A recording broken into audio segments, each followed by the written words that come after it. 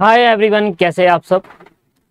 दोस्तों, आज हमारी कंपनी लॉ की पांचवी क्लास है। इन चार क्लासेस के अंदर मैंने आपको basic of company law plus chapter number one आपको कंप्लीट कराया है, जो मेरे तरीके से बने हुए चैप्टर है। अगर कोई भी स्टूडेंट हमारी क्लासेस बाय करना चाहता है तो नीचे लिंक डिस्क्रिप्शन में आपको मिल जाएँगे। व्हाट्सअप लिंक जिस पर आप क्लिक करके हमारे साथ डायरेक्टली कॉन्टैक्ट कर सकते हैं। और हमारी एप्लीकेशन से, हमारी वेबसाइट से भी आप ले सकते हैं। सारी डिटेल नीचे दे रखी है। क्लासेस की फ़ीस बहुत नॉमिनल है, इतनी है, इतनी गारंटी ले सकता हूँ। सबसे कम फ़ीस हमारी है और सबसे कम फ़ीस पे आपको जिस क्वालिटी का पढ़ाया जा रहा है, आप देख सकते हैं, आप ले ही रहे क्लास क्लास की जो फ़ीस रहेगी लगभग 2500 3000 और 3500 के बीच में ही रहती है। 2500 से 3500 के बीच में रहती है। अगर आप ज्वाइन करना चाहते हैं तो ज्वाइन कर सकते हैं। और भी क्लासेस है। कॉस्ट अकाउंटिंग है। फाइनेंशियल अकाउंटिंग इनका कॉम्बो भी आपको मिल सकता है। तीनों सब्जेक्ट में पढ़ाता हूँ आपको इंटरमीडिएट लेवल पर। आइए, वापसी आ जाते हैं। कंपनी लॉ हमारा था। C M inter group one का ये कंपनी लॉ है, जिसके अंदर जो कि ये क्लासेस एप्लीकेबल है जून 2023 के लिए। बट मेरी बात सुनिए, यहाँ पर लिखा जून 2023 है।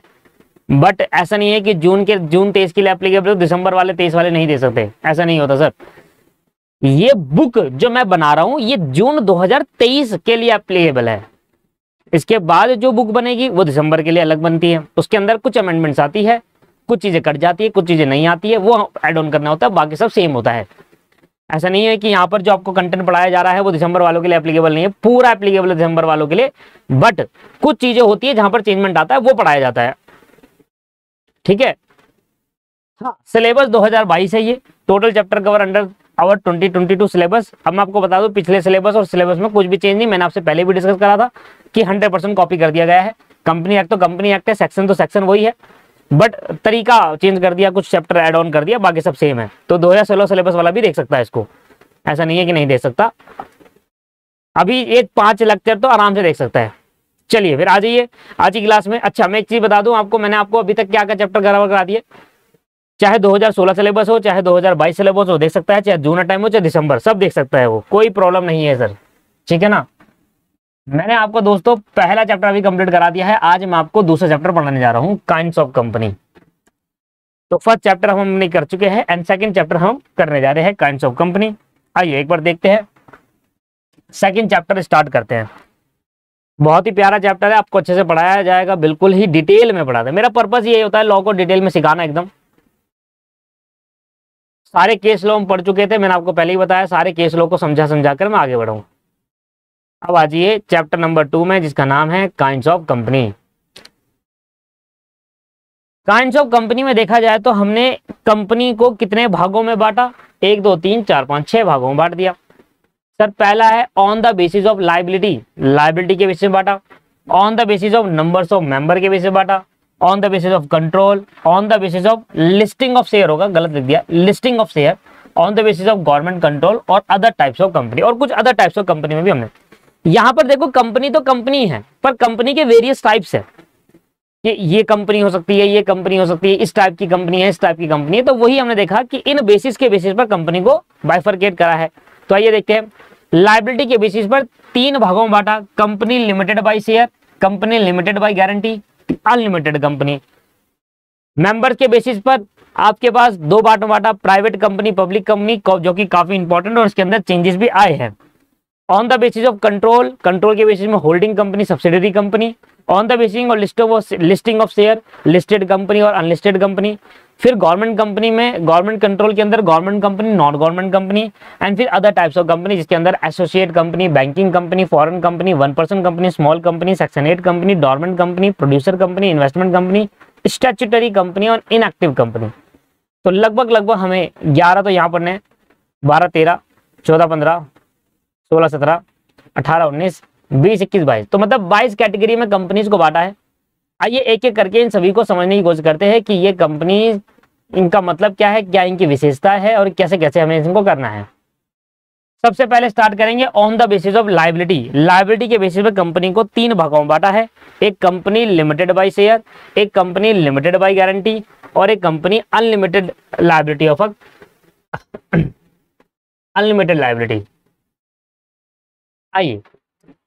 कंपनी लिमिटेड बाई शेयर क्या कहता है, sir? Section two sub section twenty one a company having a liability of its member limited by the memorandum to the amount if unpaid on share respectively held by them is termed a company limited by share such a company is commonly called a limited liability company a company liability is never limited it is the liability of shareholder member of the company that is limited अब देखिए, यहाँ पर सबसे पहले आप ये समझिए दो तीन बातें समझिए वैसे तो आगे आएगा, पर उसका यूटिलाइज इधर करा गया है।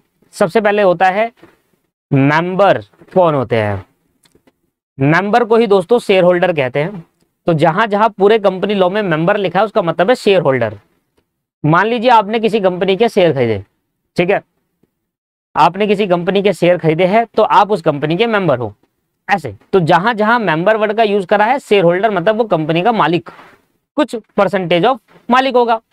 आपने जितने शेयर खरीदेंगे, मान लो आपने किसी कंपनी के एक परसेंट शेयर खरीदे तो एक परसेंट के आप उसके मालिकाना अधिकार रखते हैं। तो आप शेयर होल्डर या फिर मेंबर कहलाओगे। अच्छा डायरेक्टर कौन होते हैं? इसके बारे में सुन लो। अब देखिए, मान लो रिलायंस कंपनी के बहुत सारे शेयर होल्डर है, बहुत सारे मेंबर है। Member and share one of the same thing Reliance company के बहुत सारे शेयर होल्डर है, बहुत सारे मालिक है, बहुत जनों ने रिलायंस कंपनी के शेयर खरीदे ऐसे टाटा के भी बहुत सारे शेयर खरीदे गए हैं, बहुत सारे लोगों ने। सभी उसके मालिक अपने अपने हिस्सेदारी रखते हैं। क्या इतने सारे, मान लो रिलायंस कंपनी के अगर एक करोड़ शेयर होल्डर है तो उस एक करोड़ शेयर होल्डर में क्या सभी लोग कंपनी चलाएँगे? नहीं। देखिए क्या करते हैं शेयर होल्डर रिप्रेजेंट करते हैं अपने आप को शेयर होल्डर इलेक्ट करते हैं, एक पर्सन को बैठाते हैं। ये बहुत सारे पर्सन को बैठाते हैं जो उनके बिहार पर काम करते हैं कंपनी के लिए। और कंपनी में प्रॉफिट अर्न करके देते हैं और जो भी कंपनी प्रॉफिट कमाती है, वो शेयर होल्डर्स में बढ़ जाता है। तो director is a representative of shareholder director कौन होता है? शेयर होल्डर का रिप्रेजेंटेटिव मतलब शेयर होल्डर जैसे कि चुनाव होते हैं तो हम एक इलेक्शन होते हैं और हम एक चुनते हैं जो हमारे देश को चलाता है। ऐसे ही कंपनी के अंदर शेयर होल्डर क्या करते हैं? इलेक्ट करते हैं, चुनते हैं किसी ऐसे पर्सन को जो उस कंपनी को चलाए। उसको हम डायरेक्टर कहते हैं। तो डायरेक्टर कंपनी का ऑनर भी हो सकता है, क्योंकि उसने उसने भी क्या डायरेक्टर कंपनी का बेसिकली डायरेक्टर कंपनी के ऑनर नहीं होते। बट मान लो ऐसा डायरेक्टर जिन्हें कंपनी के बहुत सारे शेयर खरीदे, के वो ऑनर बन गया और डायरेक्टर बन गया। वो कंपनी चला भी रहा है और कंपनी का मालिक भी है। तो शेयर होल्डर क्या करते हैं? बहुत सारे जब किसी कंपनी के शेयर होल्डर होते हैं, जैसे मुकेश अंबानी डायरेक्टर की कंडीशन में आ सकते हैं। अभी हाल ही में क्या है डायरेक्टर अप डाउन होते रहते हैं, मुझे इतना पता नहीं है। हाल ही में क्या चल रहा है और चेंज होता रहता है। कभी डायरेक्टर है, कभी चेयरमैन बन जाते हैं ना, ऐसी चीज़ें। हम बात कर रहे हैं कि डायरेक्टर कौन है? डायरेक्टर वो पर्सन है जो शेयर होल्डर के को रिप्रेजेंट करते हैं शेयर होल्डर के लिए काम करते हैं। शेयर होल्डर के लिए कंपनी में काम करते हैं कंपनी को चलाते हैं और कंपनी का प्रॉफिट जनरेट करके शेयर होल्डर में बांट देते हैं। ये होते हैं डायरेक्टर तो डायरेक्टर कोई ऑनर नहीं होते। पर मान लो कोई ऐसा डायरेक्टर जिसने कंपनी के शेयर भी खरीदे हुए हैं तो वो कंपनी का डायरेक्टर ऑनर दोनों हो सकता है। है ना? पॉसिबिलिटी है। मान लो मैं किसी कंपनी का डायरेक्टर हूँ तो मैं ऑनर नहीं हूँ, मैंने शेयर खरीदा नहीं है कंपनी का। तो मैं ऑनर नहीं हूँ बस मैं शेयर होल्डर का रिप्रेजेंटेटिव हूँ, जो आया हूँ कंपनी के अंदर कंपनी को चलाने और कंपनी का प्रॉफिट जनरेट करके शेयर होल्डर को बांटने। बट कंपनी का डायरेक्टर अगर मान लो कंपनी के शेयर खरीद लेता है तो वो डायरेक्टर भी हो गया और शेयर होल्डर भी हो गया। तो डायरेक्टर और शेयर होल्डर या मेंबर में फ़र्क है। मेंबर और shareholder one of the same thing ये दोनों एक ही होते हैं। जहाँ जहाँ मेंबर लिखा है, इसका मतलब वो कंपनी के शेयर खरीद चुका है वो कंपनी का मालिक है कहीं ना कहीं किस पर्टिकुलर पॉइंट पर। और डायरेक्टर कौन होते हैं? Representative of the share holder जो शेयर होल्डर के लिए काम करते हैं कंपनी को चलाते हैं, चलाने वाले कंपनी को। क्यों सर? क्योंकि सर, लाखों जने, करोड़ों जने कंपनी को नहीं चला सकते। इतने सारे जने के डिसीज़न कौन कौन सुनेगा भाई? ये कोई ये कहेगा, कोई ऐसा कहेगा, नहीं, ऐसा करो कंपनी ऐसे नहीं हो सकता ना। इसलिए लोगों कम होने चाहिए, कम लोग चलाने वाले होने चाहिए कंपनी को, जिससे सभी का मैनेजमेंट सही रहे। डायरेक्टर और आपके पास शेयर होल्डर या मेंबर में डिफरेंस आपको बदल गया। Shareholder member one of the same thing and director are the different thing इसके बाद मेरे को दो बातें और बतानी है। एक होता है मेमोरेंडम ऑफ़ एसोसिएशन एक होता है article of association article of association में क्या होता है? कंपनी के रूल्स एंड रेगुलेशन लिखे होते हैं। कंपनी इसके बियॉन्ड जाके काम नहीं कर सकती।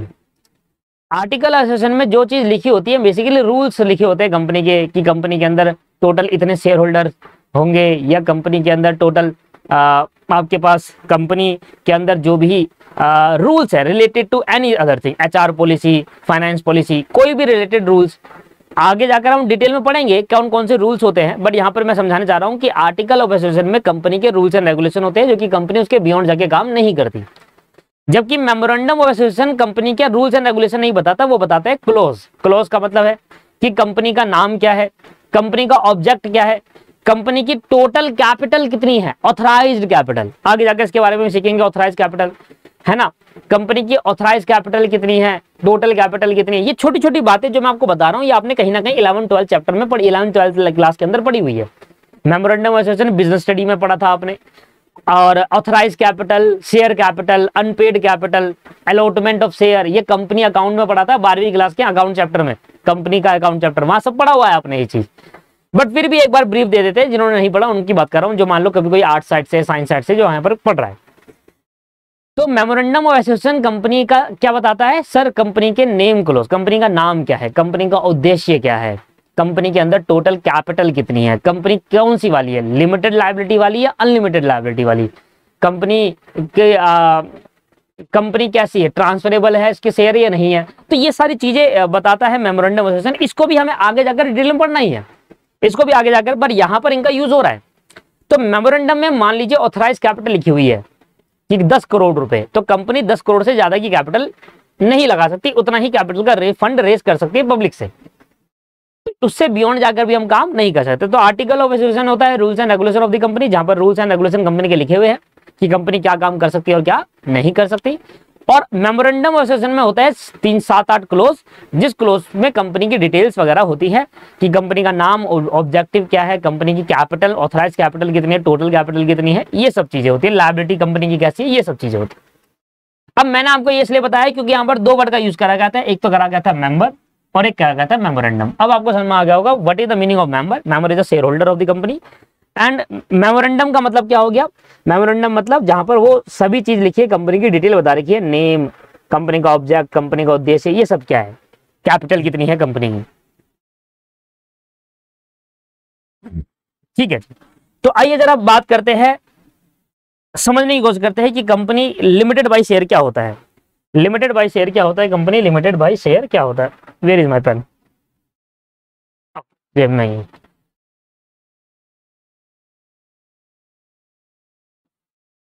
मान लीजिए दोस्तों, एक कंपनी है एबीसी लिमिटेड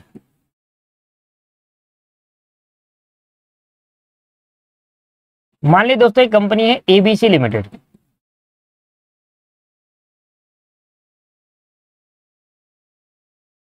एबीसी लिमिटेड एक कंपनी है, जिसकी लाइबिलिटी ज़्यादा हो गई। मान लो उनको दस लाख रुपए की लाइबिलिटी चुकानी है अपनी। ठीक है? कंपनी के दो मेंबर थे। ए एंड बी कंपनी के दोस्तों दो मेंबर है ए और बी मेंबर मतलब एक 50 परसेंट शेयर कंपनी के ए के पास है 50 परसेंट बी के पास है, और कोई शेयर होल्डर है नहीं कंपनी का। ये member of the share member of the company हो गए।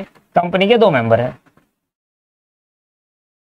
ए ने पाँच लाख रुपए की कैपिटल लगाई थी बिज़नेस के अंदर, और बी ने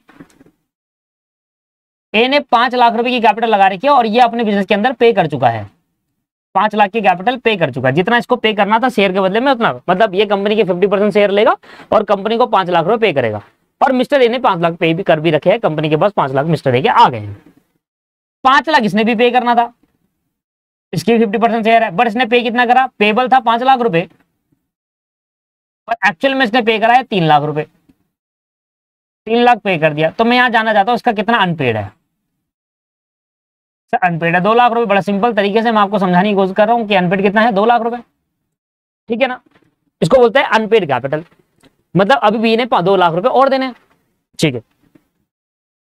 अब मान लेते हैं कि कंपनी की लाइबिलिटी है और कंपनी की एसेट को बेचकर लाइबिलिटी को चुकाया जा रहा है।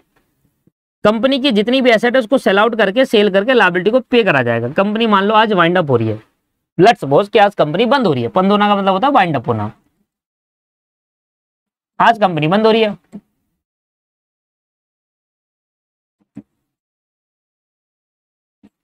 तो कंपनी की जितनी भी एसेट है, उसको बेचकर क्या करा जाएगा? लाइबिलिटी को चुकाया जाएगा। तो एसेट सेल करके लाइबिलिटी पे करी जाएगी।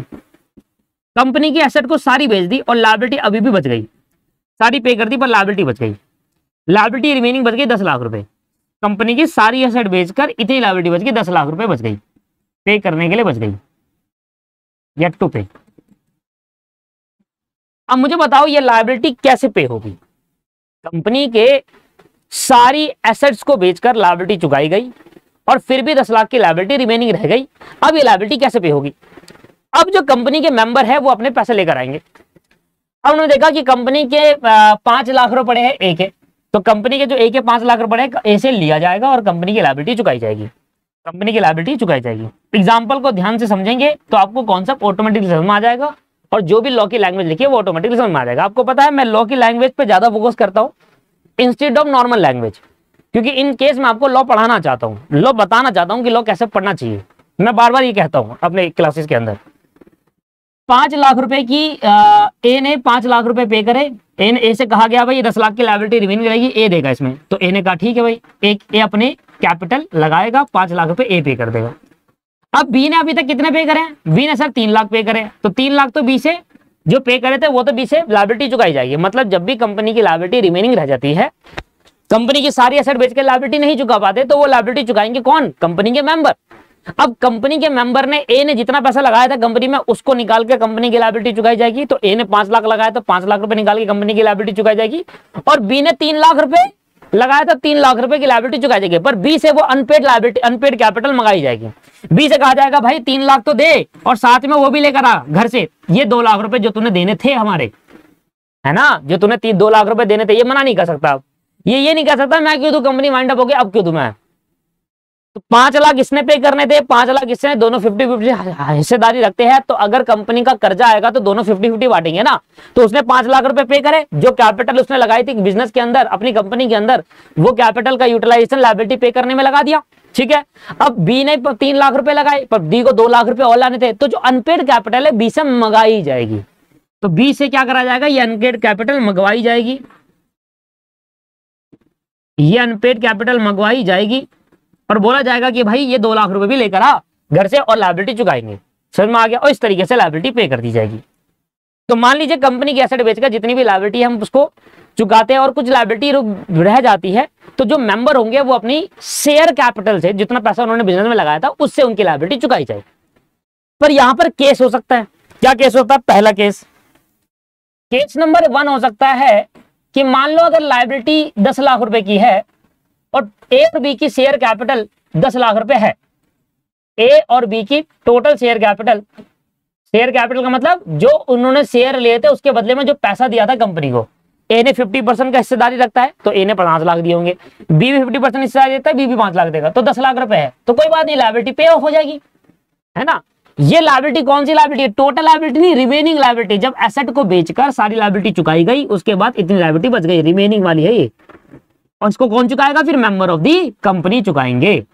मान लीजिए केस टू निकल कर आता है। केस टू ये ले आता है तो जो हमारी रिमेनिंग लाइबिलिटी है, वो दस लाख रुपए है। ए ने अपने पाँच लाख रुपए पूरे करे। बी ने तीन लाख रुपए देते, वो उसका यूटिलाइज कर लिया, पर बी दो लाख रुपए जो अनपेड है, जो अनपेड है, वो घर से लेकर आएगा। भाई, उससे बोलेंगे, भाई, घर से लेकर आ अनपेड वाले। जो तूने हमें देने थे शेयर के बदले में, वो लेकर आ, वो पे कर। ठीक है जी? मान लीजिए case number three case number three है कि रिमेनिंग जो लाइबिलिटी है, वो दस लाख रुपए की है। ठीक है? ए ने अपने बदले के पाँच लाख दिए बी ने अपने बदले के भी पाँच लाख दे दिए, दो लाख तो तीन लाख जो पहले पे कर दे वो और दो लाख घर से लिया है वो। तो ये हो गए सॉरी यहाँ आ गई बारह लाख रुपए। ये आ गया बारह लाख रुपए। तो पाँच लाख, इसकी जो शेयर कैपिटल थी, वो इसने पे करी लाइबिलिटी अपनी देकर इसने भी पाँच लाख, तीन लाख जो पहले से दे रखी थी कंपनी से, वो कंपनी यूटिलाइज कर लेगी और दो लाख रुपए घर से लेकर आएगा जो अनपेड था, जो इसको देना था कंपनी को वो।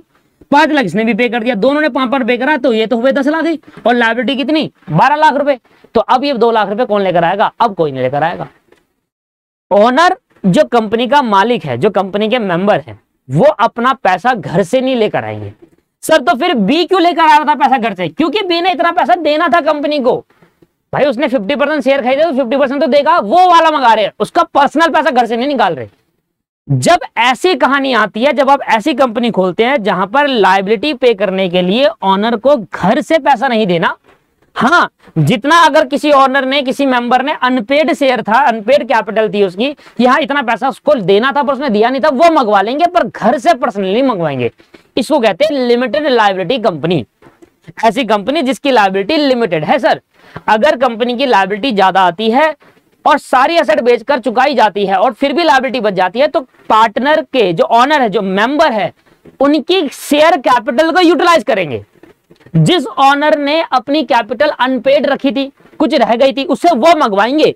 और तब भी अगर लाइबिलिटी नहीं चुकाई गई तो उसका पैसा उनसे घर से नहीं मंगवाएँगे। मतलब पर्सनल प्रॉपर्टी बेचकर पैसा नहीं चुकाएँगे ए और B member of the company ऐसी कंपनी को लिमिटेड लाइबिलिटी कंपनी कहते हैं। तो अगर किसी कंपनी में लिमिटेड लाइबिलिटी कंपनी है तो आप क्या सोचोगे उसमें? आप ये सोचना कि हाँ ये याद रखना कि मान लो जी, अगर कंपनी पूरी अपनी लाइबिलिटी नहीं चुका पाई कंपनी अगर अपनी लाइबिलिटी नहीं चुका पाई, सारी एसेट बेचकर अपनी लाइबिलिटी नहीं चुकाई जाई तो मेंबर अपनी शेयर कैपिटल तक ही बियर करेंगे। जो मेंबर ऑफ़ द कंपनी है ना ऑनर ऑफ़ द कंपनी जितनी उनकी शेयर कैपिटल होगा, उतना ही दोस्तों वो बियर करेंगे। उससे ज़्यादा अपनी घर की पर्सनल प्रॉपर्टी नहीं बेचेंगे उस लाइबिलिटी को चुकाने के लिए कंपनी ऐसी कंपनी को लिमिटेड लाइबिलिटी कंपनी कहते हैं। सिंपल से है, जहाँ पर मेंबर्स कंपनी के मेंबर्स उनकी लाइबिलिटी सीमित है। कहाँ तक सीमित है? Up to the share capital जितना पैसा उन्होंने बिज़नेस में लगाया था, वहाँ तक सीमित है। उससे अगर लाइबिलिटी चुका पा रहे हैं वेल इन गुड है। नहीं चुका पा रहे तो फिर जितनी लाइबिलिटी नहीं चुका पाई, वो लोगों का बेडअप वो अपने घर से नहीं लेकर आएँगे। ठीक है जी? दूसरी बात, मान लीजिए अगर कंपनी अनलिमिटेड लाइबिलिटी वाली होती तो अनलिमिटेड लाइबिलिटी का विशेषता यह है कि मेंबर्स की लाइबिलिटी अनलिमिटेड है। अगर इस केस के अंदर अनलिमिटेड लाइबिलिटी वाली कंपनी होती तो ये 12 लाख रुपए में से जो शेयर कैपिटल को पे करने के बाद भी तो दो लाख बच गया, वो दो लाख रुपए दोस्तों, वो दो लाख रुपए कौन लेकर आएगा? ए और बी अपने घर से लेकर आएँगे, अपनी प्रोफेशनल प्रॉपर्टी बेची जाएगी। तो अनलिमिटेड लाइबिलिटी कंपनी और लिमिटेड लाइबिलिटी कंपनी में दोनों से समझ लिमिटेड लाइबिलिटी कंपनी में दोस्तों मेंबर्स के जो शेयर होते हैं, वो शेयर कैपिटल तक ही जो मेंबर की लाइबिलिटी होगी, वो शेयर कैपिटल तक ही सीमित है। अगर कंपनी की लाइबिलिटी नहीं चुका पाए शेयर कैपिटल का पैसा यूज़ कर लिया एसेट बेचकर पैसा यूज़ कर लिया, तब भी कंपनी की कुछ लाइबिलिटी रह गई तो फिर मेंबर अपने घर की प्रोफेशनल प्रॉपर्टी नहीं बेचेंगे। ऑनर जो होते हैं मेंबर शेयर होल्डर वो एक ही है। और अनलिमिटेड लाइबिलिटी वाली कंपनी के अंदर मेंबर को अपने घर की पर्सनल प्रॉपर्टी बेचकर वो लाइबिलिटी को चुकाना पड़ेगा, क्योंकि आपकी जो कंपनी है वो अनलिमिटेड लाइबिलिटी कंपनी है। तो अगर आप शेयर होल्डर हो और आप किसी कंपनी में पैसा इन्वेस्ट करोगे तो किस कंपनी में इन्वेस्ट करना? शेयर होल्डर कह रहा हूँ सॉरी सॉरी सॉरी अगर आप क्रेडिटर हो, आप किसी कंपनी को लोन देना चाहते हो तो आप किस कंपनी को लोन दोगे? उस कंपनी को जो लिमिटेड लाइबिलिटी वाली है या उस कंपनी को जो अनलिमिटेड लाइबिलिटी वाली है? सर अनलिमिटेड वाली को देंगे। क्यों? क्योंकि इन केस अगर कंपनी की एसेट बेचकर लाइबिलिटी चुका नहीं पाए तो पर्सनल घर ओनर को पकड़ लेंगे और उसकी पर्सनल प्रॉपर्टी बेचकर जिन्होंने पैसा खसोटा है ना कंपनी से सारा बेचकर लाइबिलिटी चुकाई जाएगी। बट अगर आप शेयर होल्डर हो, अगर आप पैसा लगाना चाहते हो किसी कंपनी पे तो किस कंपनी में पैसा लगाओगे सर लिमिटेड लाइबिलिटी वाली पे कि हाँ भाई कंपनी के एसेट बेचकर चुकाओ पैसा, पर अगर कहीं बात आ जाए कि कंपनी एसेट बेचकर पैसा नहीं चुकाया गया लाइबिलिटी नहीं चुका पाए तो फिर भाई हमारे पास मत ना हम अपनी घर की पर्सनल प्रॉपर्टी नहीं बेचेंगे। हमारा कैपिटल यूज़ कर लो, जितना पैसा हमने लगाया था, जितना पैसा मैंने कंपनी में करा था, वो यूटिलाइज कर लो। पर घर की पर्सनल प्रॉपर्टी पर टच मत कर देना सर आप। लिमिटेड लाइबिलिटी का फीचर होता है ये। लिमिटेड लाइबिलिटी का समझ में आया मतलब तो सिंपल मतलब है। लिमिटेड लाइबिलिटी और अनलिमिटेड लाइबिलिटी मतलब जहाँ पर मेंबर की लाइबिलिटी लिमिटेड होती है, वो लिमिटेड लाइबिलिटी वाली कंपनी होती है। अगर कहीं कंपनी का नाम लिखा है ना, ये कंपनी की लाइबिलिटी लिमिटेड लाइबिलिटी वाली है, उसके मेमोरेंडम में लिखा होगा जहाँ क्लॉज लिखे होते हैं, जहाँ नेम कंपनी का नेम क्या है कंपनी का उद्देश्य क्या है कंपनी की लाइबिलिटी क्या है लिमिटेड या अनलिमिटेड हाँ वहाँ पढ़ना कि कंपनी की लाइबिलिटी लिमिटेड या अनलिमिटेड अगर लिमिटेड है तो समझ लेना कि इसके मेंबर की लाइबिलिटी लिमिटेड है। बस शेयर कैपिटल तक ही इसका यूज़ कर सकते हैं लाइबिलिटी पे करने के लिए, उसके घर के पर्सनल प्रॉपर्टी नहीं यूज़ कर सकते। और अगर कंपनी के जो मेमोरेंडम में लिखा है कि लाइबिलिटी अनलिमिटेड है तो ऐसे केस के अंदर अनलिमिटेड लाइबिलिटी का मतलब है मेंबर्स की लाइबिलिटी अनलिमिटेड इसकी शेयर कैपिटल यूटिलाइज कर लो। अगर तब भी लाइबिलिटी पे नहीं हुई तो घर की पर्सनल प्रॉपर्टी बेचकर लाइबिलिटी को चुकाओ। आइए देखते हैं, कुछ कंपनीज़ के बारे में जानते हैं कि ये कंपनीज़ में लाइबिलिटी मेंबर्स की लिमिटेड या अनलिमिटेड ज़्यादातर कंपनीज़ खोली जाती है लिमिटेड लाइबिलिटी वाली कंपनी क्योंकि सर वही बेनिफिट है मेंबर ऑनर क्यों अपना लॉस गवाएँगे? वो क्यों सोचेंगे कि भाई अनलिमिटेड हो? ठीक है जी? तो मैं खोलता हूँ ministry of corporate affair MCA dot GOV dot in MCA dot GOV dot in वैसे तो मेमोरेंडम अभी मिलेगा नहीं, किसी कंपनी का, वैसे ढूंढना चाहे तो मिल जाएगा, पर मैं मास्टर डाटा पे जाता हूँ, वहाँ पर मुझे सब कुछ मिल जाता है। तो यहाँ एमसीए सर्विस पे गए।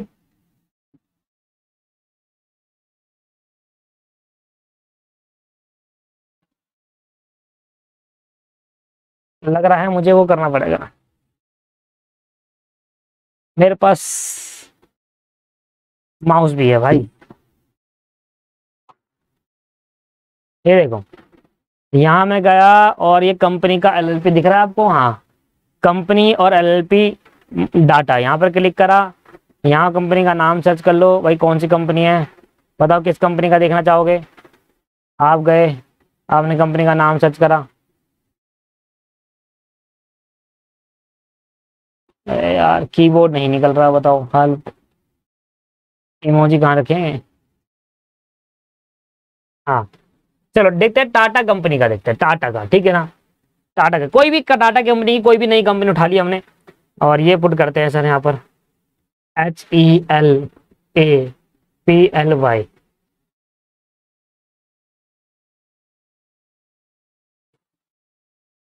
मैं आपको बता रहा था कि एक दिन ऐसा आएगा जब आपको यहाँ पर सारी बातें पता चल जाएगी। और देखो पहला दिन आया आज। कंपनी किस कैटेगरी की है? कौन सी टाइप की कंपनी है?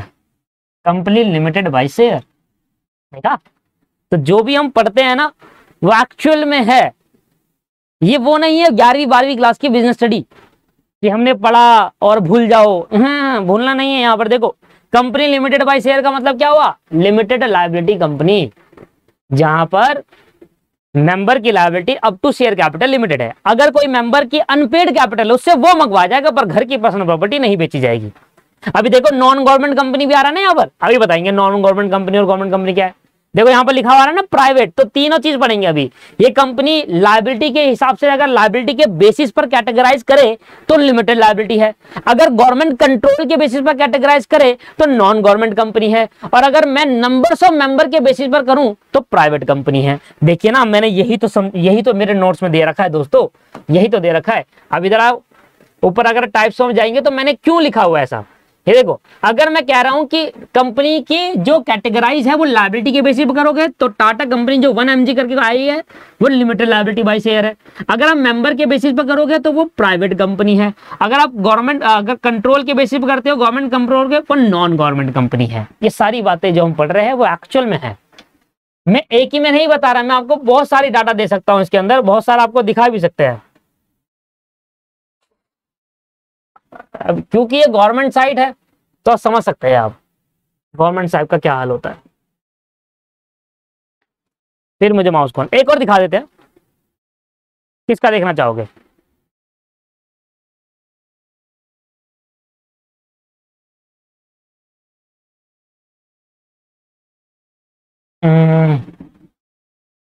जोमेटो हम्म, का देखते हैं। देखो जोमेटो में कितनी कंपनीज़ है? आप हम सोचते हैं जोमेटो में एक ही कंपनी है, इतनी सारी कंपनी थे जोमेटो में, सात कंपनी जोमेटो के नाम से। Zomato food private limited Zomato entertainment private limited finance service private limited चलो, हम जोमेटो फ़ूड प्राइवेट लिमिटेड देखते हैं। प्राइवेट लिमिटेड देखा तो प्राइवेट ही होगी, चलो कोई नहीं। करो सर एफ़ मैं बस दो ही दिखाऊँगा, ज़्यादा नहीं, वापसी कंसेप्ट आएँगे। ओह।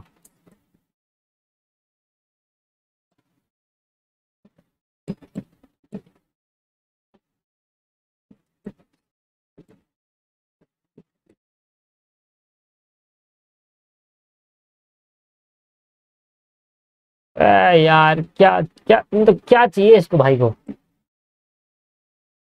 पाँच मिनट दीजिए बस। भाई एक और दिखा देता हूँ, मेरे को बताना है आपको ना। देखो टाइम लगा रहे हैं तो कुछ ना कुछ तो सीख के जाए ना। आप अपने आप से खुद से भी देख सकते हैं ये। ज़रूरी नहीं है कि मैं ही आपको दिखाऊँ, आप खुद से भी दिखाते हैं जोमेटो देखते हैं। आज के टाइम पे इतनी कंपनी खुल चुकी है Zomato food private limited A N Y K E R आ जाओ। हाँ। ये देखिए भैया कंपनी लिमिटेड बाय शेयर ये भी लिमिटेड कंपनी है नॉन गवर्नमेंट कंपनी और प्राइवेट दो, दो बात एक बात तो आप समझ गए कि जहाँ जहाँ कंपनी लिमिटेड बाय शेयर लिखा है उसका मतलब क्या है? उसका मतलब ये है एक मिनट उसका मतलब ये है कि वो कंपनी के मेंबर की लाइबिलिटी लिमिटेड है। अगर सारी कंपनी की एसेट बेचकर लाइबिलिटी चुकाई जाएगी तो मेंबर की कैपिटल यूज़ कर सकते हैं, बस उनकी घर से पर्सनल प्रॉपर्टी नहीं बेच सकते। अनलिमिटेड लाइबिलिटी वाली कंपनी अब खुलना ही बंद हो गई। कोई पागल ही होगा जो उसको खोलेगा कि अपनी घर की पर्सनल प्रॉपर्टी देगा। अरे भाड़ में जाए, जिसने हमें पैसा दिया, हमें पैसा क्यों दिया? हमने बोला था तुम्हें पैसे देने के लिए। मान लो आपने कुछ ऐसी कंपनी को पैसे दे दिया, जो लिमिटेड लाइबिलिटी वाली कंपनी थी। अब वो मेंबर कहेंगे, हमने ना बोला था, अब चलो, टाटा। अब मत आओ यहाँ पर। तो मैंने आपको दो बातें पढ़ाई। एक तो आई unlimited liability unlimited liability limit अरे यार, हद हो गई। लो, इसको काटो। अनलिमिटेड लाइबिलिटी कंपनी कौन सी होगी? A company having no limit on the liability of its member member की लाइबिलिटी में कोई भी लिमिट नहीं है, दोस्त। मेंबर की लाइबिलिटी में कोई भी लिमिट नहीं है। मेंबर की लाइबिलिटी में कोई भी limit a company having no limit a company having no limit on the liability of its member is an unlimited company is an unlimited company तो जब मेंबर की लाइबिलिटी में कोई भी लिमिट ना हो मेंबर अपनी कैपिटल को यूज़ करके तब भी लाइबिलिटी नहीं चुका पा रहे तो घर से लेकर आओ भैया पैसा घर भेज दो पूरा इसका जितनी एसेट है ऑनर के नाम पे सब बेचो और कंपनी की लाइबिलिटी चुकाओ। तो section two sub section twenty nine of the companies act two thousand thirteen this kind this kind of liability structure allow company to formed as an unlimited company thus in case of unlimited liability company, the liability of each member extend to the whole amount of the company debt and liability. तो अगर आप unlimited liability वाली company खोल रहे हो, उसका मतलब यह है कि उस मेंबर की उस कंपनी की तो लाइबिलिटी है ही। साथ में मेंबर की भी लाइबिलिटी है। जितनी कंपनी की लाइबिलिटी उतनी मेंबर की भी लाइबिलिटी रहेगी। पर्सनली भी। सिंपल है। और अगर हम बात करें आपकी limited liability company company limited by share का मतलब होता है limited liability company section two subsection note one क्या कहता है? A company having a liability of its member limited member की लाइबिलिटी लिमिट मतलब लिमिटेड लाइबिलिटी कंपनी में कंपनी की लाइबिलिटी लिमिटेड नहीं, और कोई कोई बच्चा कंफ्यूज आता है इसमें। वो सोचता है कि अगर लिमिटेड लाइबिलिटी कंपनी है तो कंपनी की लाइबिलिटी लिमिटेड और कंपनी की लाइबिलिटी अनलिमिटेड गलत। अरे लिमिटेड लाइबिलिटी कंपनी का मतलब कंपनी की नहीं कंपनी की लाइबिलिटी हमेशा अनलिमिटेड रहती है। भाई, अगर लाइबिलिटी चुकाओगे नहीं है तो कंपनी की सारी प्रॉपर्टी बिकेगी बिकेगी, चाहे आपकी लिमिटेड कंपनी हो, चाहे लिमिटेड लाइबिलिटी वाली हो, चाहे अनलिमिटेड लाइबिलिटी वाली। दो तो समझ में आया? अगर यहाँ पर लिखा है कि लिमिटेड लाइबिलिटी कंपनी इसका मतलब ये नहीं कि कंपनी की लाइबिलिटी लिमिटेड ना, यहाँ पर बात हो रही है मेंबर्स की लाइबिलिटी के ऊपर। कंपनी की तो हमेशा अनलिमिटेड रहती है। ठीक है जी? कंपनी की एसेट तो सबसे पहले बेची जाएगी लाइबिलिटी चुकाने के लिए। बाय द मेमोरेंडम मेमोरेंडम में अगर लिखा हुआ है कि कंपनी की लाइबिलिटी लिमिटेड है, इसका मतलब उनके मेंबर्स की लाइबिलिटी लिमिटेड नॉट कंपनी ठीक है ना? To the amount if any unpaid share आया समझ में? अनपेड शेयर अनपेड शेयर वो दो लाख रुपए जो मिस्टर बी ने पे करने थे।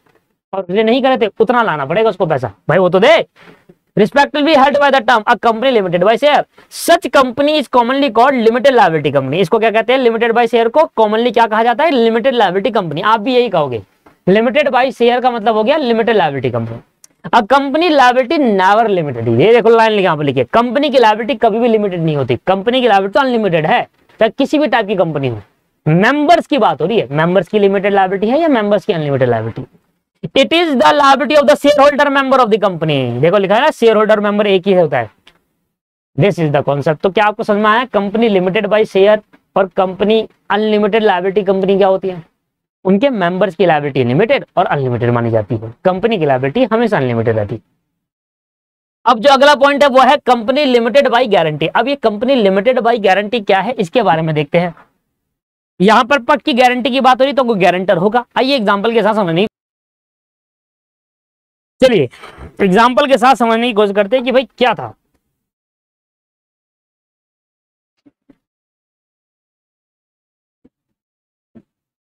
देखिए सिमिलरली केस लेते हैं कि मान लो A B C A B limited एक कंपनी है और उसके दो मेंबर हैं A and be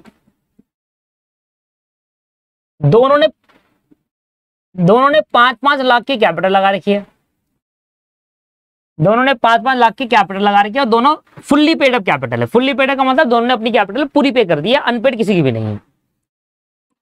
fully paid up capital है ना? पेड अप कैपिटल अब इसके बाद क्या होता है? अब वो कह रहा है कि देखिए सर, ऐसा है। अब ये कंपनी इन्होंने बनाई लिमिटेड बाई गारंटी अब क्या होता है? ए और बी कहते हैं कि भैया, अगर कंपनी की लाइबिलिटी नहीं चुकाई जा रही, सारी एसेट बेचकर एसेट बेचकर अगर लाइबिलिटी फुल भी पे नहीं हो रही लाइबिलिटी रिमेनिंग रह जा रही है तो उस लाइबिलिटी को पे करने के लिए हमें क्या करना होगा? भाई, मेरा मेंबर मेंबर कह रहे हैं कि हमारा पैसा यूज़ कर लेना। अगर कंपनी सारी कंपनी की सारी वाइंड अप के टाइम पे, ये सारी खेल होता है वाइंड अप के टाइम पे। जब तक कंपनी बंद नहीं होती, तब तक तो कुछ भी नहीं करना है वाइंड अप के टाइम पे सारा चीज़ें देखी जाती है। मान लो आज कंपनी बंद हो रही है तो जितनी भी एसेट्स है, उनको बेचकर कंपनी की लाइबिलिटी चुकाई जाएगी। अब जितनी भी एसेट बेचकर कंपनी की लाइबिलिटी चुकानी थी, पर चुका नहीं पाए। कुछ लाइबिलिटी रिमेनिंग रह गई। मान लो वो लाइबिलिटी रह गई दो लाख, बारह लाख रुपए की रिमेनिंग उसके बाद हमने क्या सीखा? ये बारह लाख की लाइबिलिटी कौन पे करेगा? ए और बी पे करेंगे। अपनी अपनी कैपिटल से लिमिटेड लाइबिलिटी कंपनी में हमने ये सीखा कि अपनी अपनी कैपिटल से पे करेंगे। अब लिमिटेड बाई गारंटी का मतलब क्या हुआ? ए यहाँ पर गारंटी देता है। ए यहाँ पर गारंटी देता है कि, सर अगर मेरी कैपिटल और दूसरे मेंबर की कैपिटल को यूज़ करने के बाद भी अगर लाइबिलिटी नहीं चुकाई गई तो मैं ये गारंटी दे रहा हूँ, मैं कुछ लमसम अमाउंट रख रहा हूँ दस लाख रुपए। दस लाख तक की और मैं गारंटी देता हूँ, इतना मैं चुका दूँगा। मतलब ए ने गारंटी दी कि भाई दस लाख रुपए मेरी गारंटी है, इतना मैं पे कर दूँगा, अगर कंपनी की लाइबिलिटी नहीं चुका पाए, हमारा पैसा यूज़ करने के बाद भी शेयर कैपिटल यूज़ करने के बाद भी, तब भी पैसा नहीं चुका रहे तो अप टू टेन लाख की गारंटी दे रहा हूँ, इतना पैसा मैं घर चलाकर चुका दूँगा। गारंटीड बाय कैम्ब्रिक कहते हैं। ऐसी बी ने भी कहा कि, सर, मैं भी गारंटी दे रहा हूँ कि मैं भी दस लाख रुपए तक की पे कर दूँगा। मतलब मान लो अगर कंपनी को, के रिमेनिंग लाइबिलिटी लग गई चालीस लाख रुपए की। कंपनी की रिमेनिंग लाइबिलिटी रह गई चालीस लाख रुपए की। तो चालीस लाख में पहले पाँच लाख पाँच लाख तो कैपिटल यूज़ कर लो। दस लाख तो कैपिटल का यूज़ कर लिया। अब कितनी बच गई? सर, बीस लाख, तीस लाख बच गई। दस लाख कैपिटल यूज़ करने के बाद कितनी बच गई? सर, तीस लाख बच गई। चालीस लाख की कंपनी की रिमेनिंग लाइबिलिटी रह गई। जिसमें से कैपिटल की यूज़ करा, तीस लाख अब भी बच गई। तो इसने कितनी गारंटी दी थी? कि इसके बाद कितनी तक मैं पे कर दूँगा? दस लाख तक इसने भी दस लाख तक। तो ए ने गारंटी दी कि भाई मैं दस लाख तक कंपनी की लाइबिलिटी चुका दूँगा। अगर हमारा पैसा यूज़ कर लो कंपनी के असर बेचने के बाद भी तब भी नहीं चुका पाए तो दस लाख तक मैं दे दूँगा, दस लाख तक भी दे देगा। और अब भी दस लाख रह गया तो इसका क्या करूँगा? ये फिर बैठा हो जाएगा उन लोगों को जिन्होंने हमें पैसा दिया था। गारंटी का मतलब है कि जो member of the part member of the company है, वो अलग से गारंटी दे रहे हैं। कि हमारा पैसा यूटिलाइज करने के बाद अगर कंपनी की लाइबिलिटी नहीं चुका पा रहे तो अप टू द एक लमसम अमाउंट ऐसा नहीं कि सारा चुकाएँगे हम। कंपनी का सारी लाइबिलिटी हम पे करेंगे ना। एक इतना गारंटी दे रहे कि इतना अमाउंट तक हम पे कर देंगे अलग से अपने घर से लाकर। एक लमसम एक लिमिट तक है। सारा नहीं, एक लिमिट तक हम पे कर देंगे जितनी हमने गारंटी दी है। या कोई कोई गारंटी देता है अपनी एसेट की फॉर्म में कि भाई मेरी एक लैंड है अगर मान लो कंपनी की लाइबिलिटी नहीं चुका पाए, हमारा पैसा भी यूज़ कर लिया शेयर कैपिटल तब भी नहीं चुका पाए तो मेरी एक लैंड है, उसको बेचकर जितना पैसा आएगा वो तक चुका दीजिएगा। लैंड तक की गारंटी दे रहा हूँ, उसके बाद मैं अपनी पर्सनल प्रॉपर्टी नहीं दूँगा। लैंड तक की है तो उसको बोलते हैं कंपनी लिमिटेड बाई गारंटी समझ में आया? तो कंपनी लिमिटेड बाई गारंटी में क्या होता है? कंपनी लिमिटेड बाई गारंटी में भी define as a company having a liability of its member limited देखो लाइबिलिटी तो लिमिटेड है but memorandum memorandum of association में लिखा हुआ है कि कंपनी की जो लाइबिलिटी मेंबर कंपनी के जो मेंबर्स की लाइबिलिटी है, वो तो लिमिटेड है। बट यहाँ पर क्या कह रहा है? To the such amount to the as member respectively under to undertake to contribute this contribution could be as the asset of the company is the event of being wind up while he member at within year of one year after he ceases to be member क्या कह रहा है? कह रहा है, sir company के member क्या करते हैं? कुछ पॉइंट तक कंट्रीब्यूट कर देते हैं कि हाँ मैं इतनी गारंटी दे रहा हूँ कि दस लाख रुपए मेरी तरफ़ से गारंटी है कि अगर दस लाख तक की लाइबिलिटी है तो मैं चुका दूँगा। दस लाख बी ने भी गारंटी दे दी। और बी ने कहा, चलो, मेरी एसेट ले लो। तो ये जो गारंटी दे रहे हैं मेंबर ये कंपनी के लिए एसेट्स मानी जाती है। क्योंकि कंपनी को क्या मेंबर क्या कह रहे हैं? अपनी कंपनी के लिए कि अगर कंपनी की लाइबिलिटी नहीं चुकाई तो दस लाख तक की गारंटी दे रहा हूँ, मैं चुकाऊँगा कंपनी की लाइबिलिटी आप भी मेंबर हो, आप भी कह रहे हो, मैं भी दस लाख तक की गारंटी दे रहा हूँ। ये ये गारंटी जो मेंबर्स ने दी, वो कंपनी के लिए एसेट्स मानी जाती है। और वाइंड अप के टाइम पे इसका यूटिलाइजेशन किया जा सकता है। जब कंपनी वाइंड अप होती है और लाइबिलिटी नहीं चुका पाती अपनी तो इसका यूटिलाइजेशन करके हम मेंबर से पैसा ले लेते हैं। और जितनी उन्होंने गारंटी दी थी। पर यहाँ पर एक लाइन लिखी है he is a at within one year after he ceases to be member कहता है, अगर मान लो वो कंपनी का मेंबर नहीं रहा, मान लेते हैं, आपने गारंटी दी थी वो आप कंपनी के मेंबर आप आपने कंपनी को छोड़ दिया। कंपनी के आप मेंबर आप नहीं हो ऑनर नहीं हो। कंपनी आपने शेयर बेच दिए। तो आपकी गारंटी एक साल तक, जिस दिन आपने मेंबरशिप छोड़ी, उस दिन से एक साल तक आपकी गारंटी रहेगी। उसके बाद आपकी गारंटी खत्म हो जाएगी, फिर आप कोई गारंटर नहीं हो कंपनी के। मतलब आपने आज अगर मेंबरशिप छोड़ दी, उसके बाद एक साल तक आपकी जो गारंटी दी है, वो कंपनी के लिए एसेट्स मानी जाएगी। एक साल तक। आपके छोड़ने के एक साल तक मानी जाएगी। उस बीच में अगर कंपनी की लाइबिलिटी खत्म होगी तो आप ये नहीं कह सकते कि मेरे तो मेंबर हुई नहीं तो मैं गारंटी किस बात की? ना, एक साल तक गारंटी तब भी आपकी रहेगी। होप आपको ये समझ में आ गया है। तो कंपनी की तीनों बातें आपको क्लियर हो गई है कि company by company on liability के बेसिस पे कंपनी को तीन बातों बांटा। एक तो लिमिटेड लाइबिलिटी कंपनी अनलिमिटेड और लिमिटेड बाय गारंटी आइए सर, समझ में आया नहीं आया? क्लियर है पॉइंट आइए तो अगला पढ़ते हैं। बहुत ही डिटेल में मैं चर्चा कर चुका लगभग लगभग मैंने यहाँ पर लगा दिया आपके थर्टी टू फोर्टी मिनट इतने तीन कॉन्सेप्ट को समझाने में? सर, एक ही बार होता है, जब आप रिवीजन करेंगे तो ये चीज़ें बहुत डिटेल में नहीं होती, फिर आपके झटके में हो जाती है। फिर पाँच मिनट में खत्म हो जाती है तीनों। ठीक है? आइए। सबसे इंपॉर्टेंट पार्ट जो है, वो है on the basis of number of member अच्छा इसको मैं भी कराता हूँ थोड़ी देर में।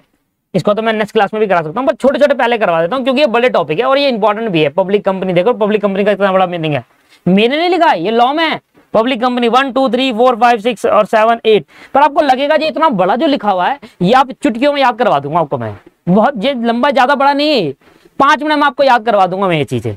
ठीक है? तो आप उसकी टेंशन मत लीजिए, बड़ा है, छोटा है करके। बस इधर आ जाइए पहले। On the basis of control control के विषय में जल्दी छोटी छोटी जो बातें पढ़ लेते हैं और खत्म हो जाएगा। होल्डिंग कंपनी क्या होती है? जैसे जब, मान लो मैंने किसी कंपनी मेरी कंपनी है, ठीक है? अब मैंने कोई कंपनी को, मैं समझाता हूँ। ऐसे नहीं, ऐसे समझाऊँगा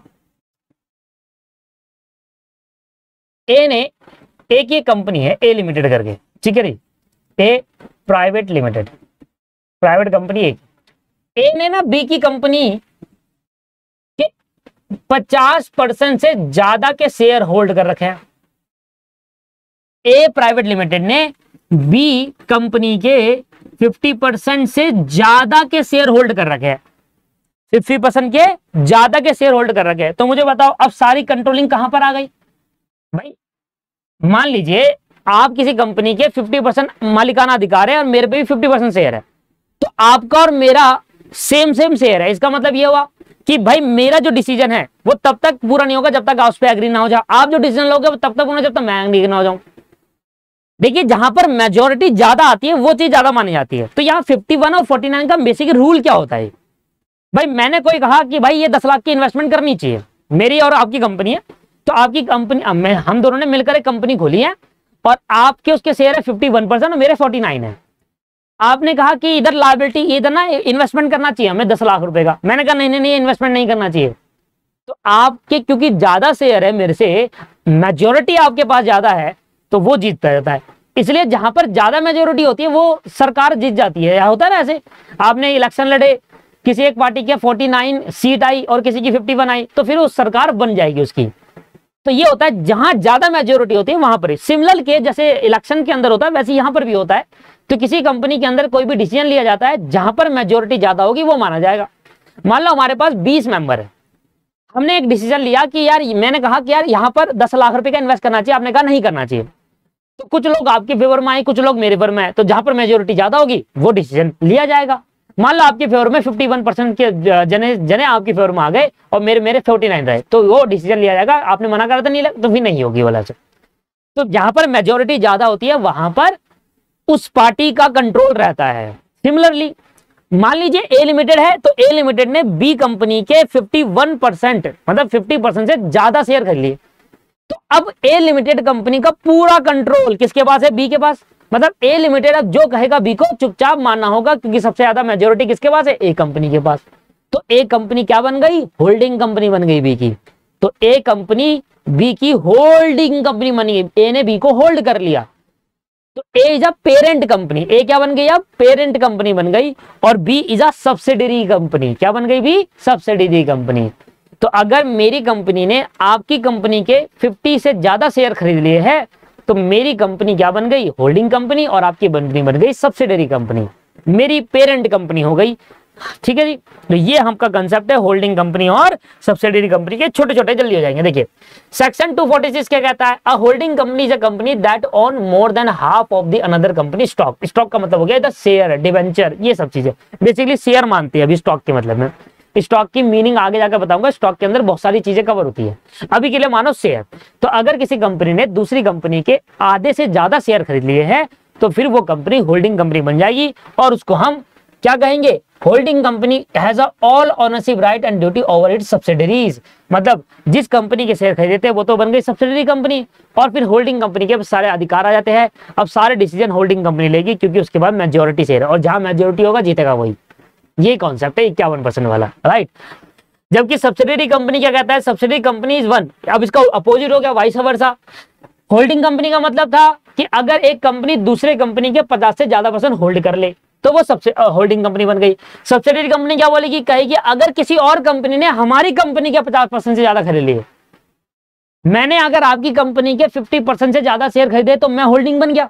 तो आप क्या कहोगे कि आपकी कंपनी ने, आप कहोगे कि आप की जो जवानी है वो कहोगे कि हाँ हमारी कंपनी ने, हमारी कंपनी के शेयर पचास से ज़्यादा किसी और कंपनी ने ले लिया। तो वो हमारी होल्डिंग बन गई और हम सब्सिडी बन गए उसके।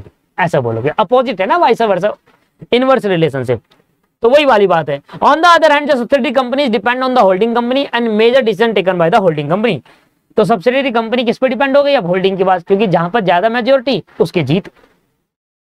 तो सब्सिडी कंपनी के सारे शेयर 50 से ज़्यादा शेयर किसी का होल्डिंग के बाद आ गए तो सब्सिडी कंपनी अब डिसीज़न बहुत कम मायने में लेगी। मेजरली डिसीज़न कौन लेगी? होल्डिंग कंपनी लेगी। On the basis of listed of share listed of share आपको बताया आपको बताया था हमारे पास आ, जब भी किसी कंपनी को बाहर शेयर बेचने होते हैं तो उसको लिस्ट कराना होता है उसको रजिस्टर कराना होता है दोस्तों कहाँ पर? स्टॉक एक्सचेंज के अंदर।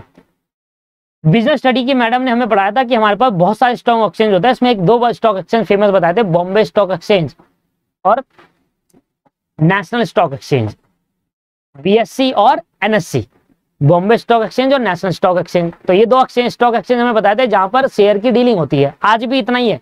है तो बहुत सारे, पर बाकी सारे काम बंद हो गए। शेयर में डीलिंग अब यही दो करते हैं। बाकी चलते हैं, बंद नहीं हो गए, वो चलते हैं, उनके अदर काम है। बट डीलिंग यही कर रहे हैं अब शेयर को खरीदने बेचने की। बॉम्बे स्टॉक एक्सचेंज और नेशनल स्टॉक एक्सचेंज एनएससी और बीएससी तो ये स्टॉक एक्सचेंज होते हैं। तो जब अपनी कंपनी के अंदर आप, जब आप अपनी कंपनी को स्टॉक एक्सचेंज में रजिस्टर करा लेते हो तो फिर आपकी कंपनी लिस्टेड कंपनी बन जाती है। सिंपल मतलब कोई भी कंपनी जब हम स्टॉक एक्सचेंज में रजिस्टर करा लेते हैं जैसे आप रजिस्टर कराने का मतलब ये हुआ कि आपने कहा कि भाई मेरी कंपनी को रजिस्टर कर लो। मैं भी अब आपसे शेयर बेचना चालू करूँगा। तो वो लिस्टेड कंपनी होगी तो शेयर बेचने वाली कंपनी कौन होती है? लिस्टेड कंपनी होती है, क्योंकि वही शेयर बेच सकती है जो लिस्टेड कंपनी होती है, जो स्टॉक एक्सचेंज में रजिस्टर कराती है। आपने सुना है हमारे पास बहुत सारे स्टॉक एक्सचेंज है, जिसमें बॉम्बे स्टॉक एक्सचेंज और नेशनल स्टॉक एक्सचेंज की बात होती है। मतलब डेली ये ओपन है जो शेयर में डीलिंग वाला करते हैं। तो मैं सिंपल मतलब ये समझा रहा हूँ, अगर कोई कंपनी अपने को आपको रजिस्टर करा लेती है स्टॉक एक्सचेंज में उसको लिस्टेड कहा जाता है, उस रजिस्ट्रेशन को लिस्टेड कहा जाता है। तो वो बन जाती है लिस्टेड कंपनी और उसके बाद ही जाकर वो शेयर इशू करके फंड रेज कर सकती है।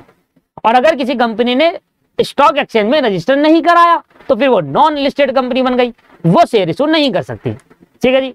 तो शेयर इशू करने के लिए आपको पहले स्टॉक एक्सचेंज में रजिस्टर कराना होगा। रजिस्टर कराने का मतलब लिस्ट कराना होगा, राइट? तो यहाँ पर आ गया लिस्टेड कंपनी और unlisted company listed company as a company which has any of security list list मतलब रजिस्टर्ड है कहाँ पर? Any stock exchange on any recognise stock exchange Bombay या नेशनल अनलिस्टेड कंपनी वो कंपनी है जिसके कोई भी शेयर सिक्योरिटी सिक्योरिटी का मतलब इधर क्या हो गया? शेयर डिवेंचर बॉन्ड्स कुछ भी।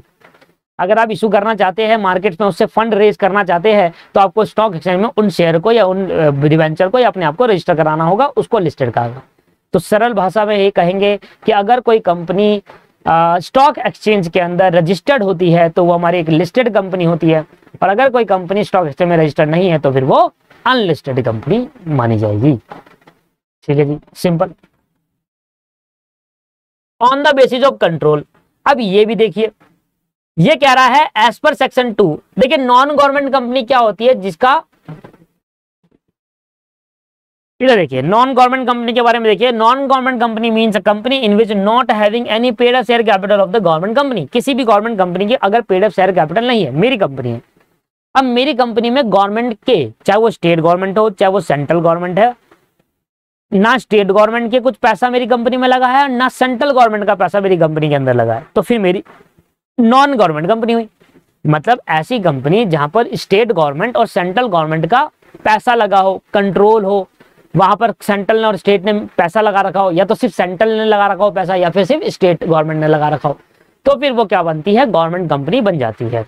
देखिए as per section two fifty forty five of the company दो हज़ार तेरह government company means any company in which not less than 51% of the paid up share capital is held by the central government or by the any state government or government, और partially central और partially state government, ठीक है जी?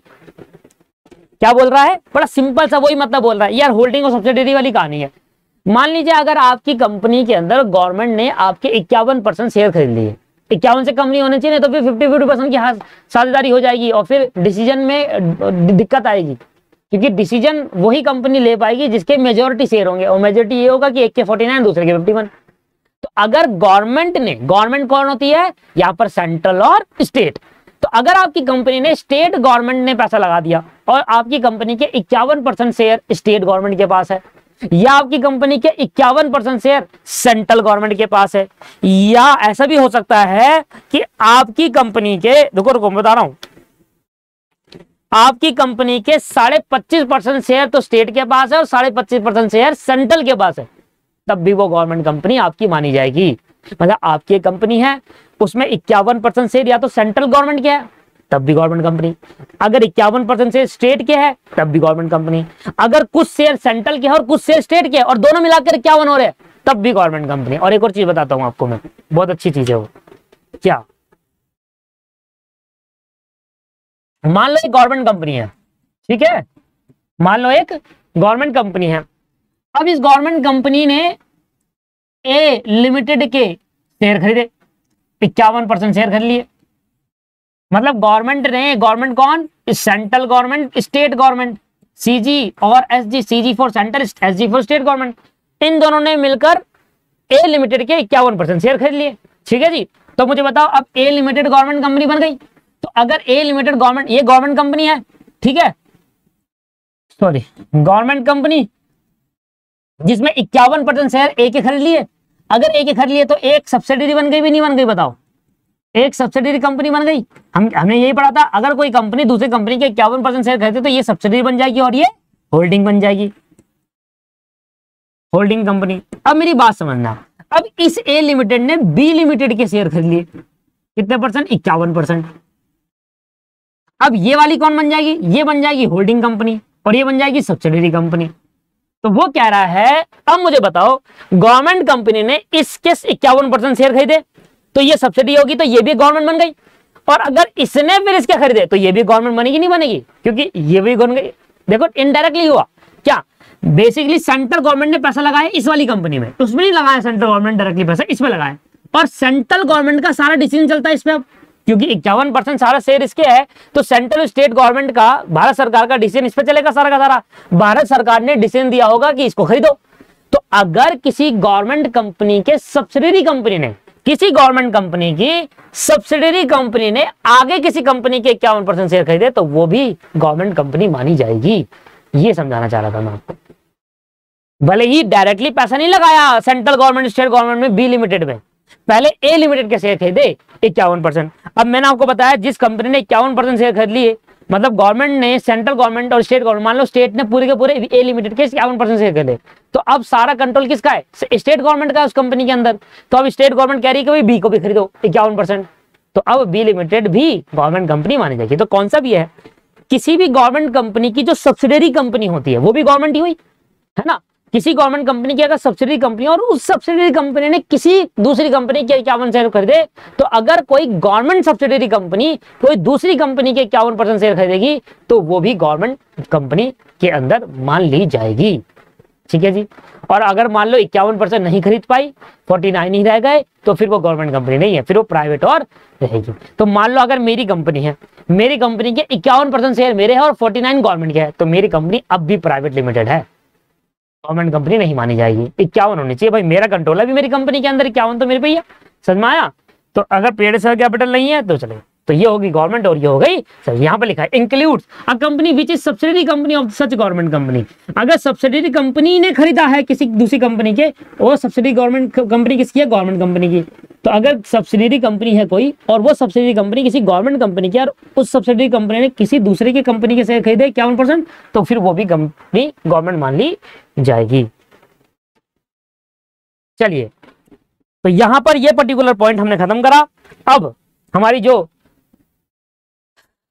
Next class होने वाली है दोस्तों, उसके अंदर बाकी पॉइंट करेंगे। अभी सब छोटे छोटे हैं। अदर टाइप्स ऑफ़ कंपनी के अंदर देखिए बैंकिंग कंपनी जो है हमारे फाइनल लेवल पर पढ़ेंगे। अभी नहीं हमें पढ़ना तो इसलिए मैंने इसको छोड़ दिया है कि ये हम पढ़ेंगे डिटेल में फाइनल लेवल पे।